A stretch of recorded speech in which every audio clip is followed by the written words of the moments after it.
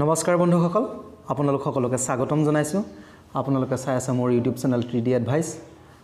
বন্ধুসকল আজিও আপোনালোকৰ কাৰণে অসমীয়াৰ কেইটামান অতি গুৰুত্বপূৰ্ণ প্ৰশ্ন উত্তৰ লৈ আহিছোঁ গতিকে মোৰ ভিডিঅ'টো শেষলৈকে চাব বুলি আশা কৰিলোঁ।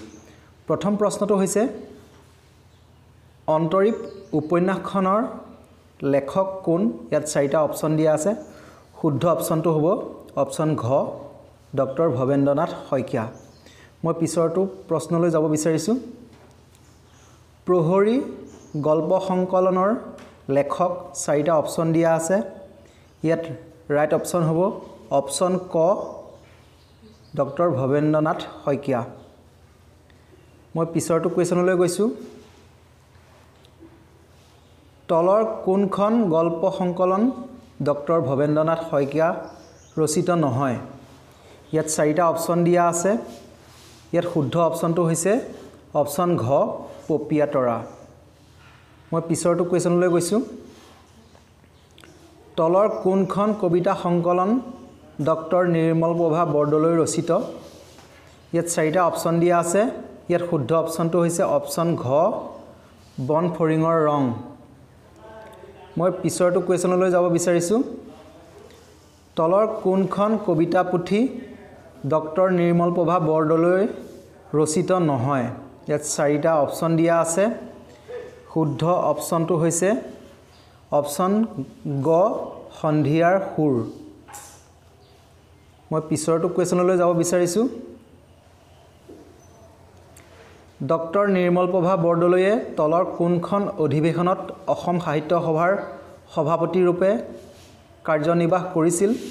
চাৰিটা অপশ্যন দিয়া আছে। ইয়াত শুদ্ধ অপশ্যনটো হৈছে অপশ্যন খ দুধনৈ অধিৱেশন। মই পিছৰটো কুৱেশ্যনলৈ যাব বিচাৰিছোঁ। তলৰ কোনখন তত্ত্ব সমৃদ্ধ গ্ৰন্থ ডক্টৰ নিৰ্মল প্ৰভা বৰদলৈয়ে ৰচিছিল? ইয়াত চাৰিটা অপশ্যন দিয়া আছে। শুদ্ধ অপশ্যনটো হৈছে অপশ্যন গ দেৱী। মই পিছৰটো কুৱেশ্যনলৈ যাব বিচাৰিছোঁ। তলৰ কোনখন উপন্যাস ডক্টৰ নিৰ্মল প্ৰভা বৰদলৈ ৰচিত। ইয়াত চাৰিটা অপশ্যন দিয়া আছে।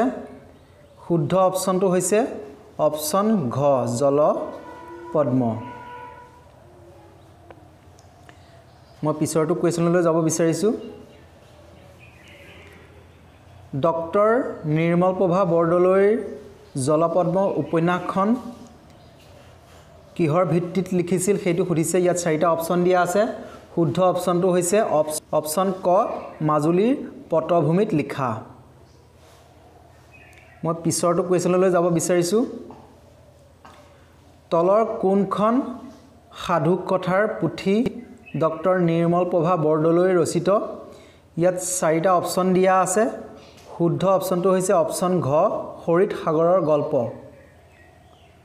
মই পিছৰটো কুৱেশ্যনলৈ যাব বিচাৰিছোঁ।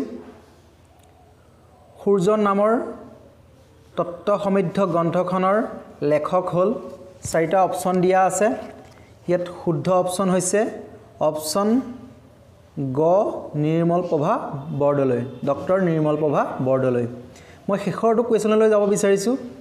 মই শেষৰটো কুৱেশ্যনলৈ যাব বিচাৰিছোঁ। তলৰ কোনখন কবিতা পুথি ডক্টৰ নিৰ্মল প্ৰভা বৰদলৈ ৰচিত? ইয়াত চাৰিটা অপশ্যন দিয়া আছে। শুদ্ধ অপশ্যনটো হৈছে অপশ্যন খ শব্দৰ ইপাৰে শব্দৰ সিপাৰে। আশা কৰোঁ আপোনালোকে ভিডিঅ'টোৰ দ্বাৰা কিছু কথা শিকিব পাৰিলে। এনেকুৱা ধৰণৰ গুৰুত্বপূৰ্ণ প্ৰশ্নোত্তৰ লৈ মই আকৌ আপোনালোকৰ ওচৰলৈ আহিম।